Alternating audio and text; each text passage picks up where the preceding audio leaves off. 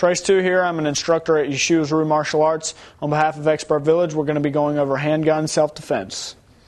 Now, many times your mugger will have his gun to your face to try and intimidate you, okay? Um, you feel like you're looking down the barrel of a gun because you are, okay? This is very intimidating because you're looking directly at the gun. What you want to do in this situation is simply roll your head to the, to the outside of the trajectory of the round and push up on the, the handgun. You want to make sure you have this grasp firmly.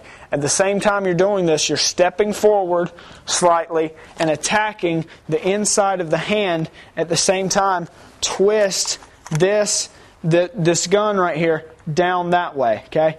So you've done this. Now you can either come with a back fist here, a hook here, okay? But from here you probably want to go here and then there create distance enough for you to back up and hold him at gunpoint.